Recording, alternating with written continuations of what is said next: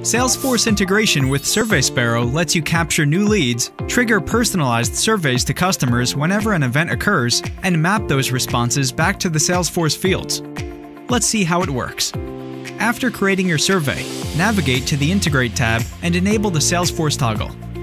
Enter your Salesforce credentials and authorize your account. Once you've successfully logged in, enable the toggle at the top right corner to trigger the survey when an event happens in Salesforce. Choose the event object and action to set actions for which the survey has to be invoked.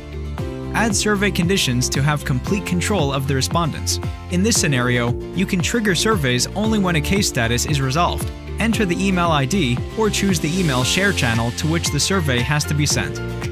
Click Save to complete the action. Select New Mapping to map the survey responses back to the Salesforce fields. Select the mapping type, choose the respective Salesforce object, and make sure you fill all the conditions to map your Salesforce field's responses. Click Save to complete the action. From the survey dashboard, select Contacts. Select Imports and then start a new import. From the pop-up list, select Salesforce. Once you've mapped the contact properties, click Next to name and finish the import. For further help, please reach out. We're just a chat away.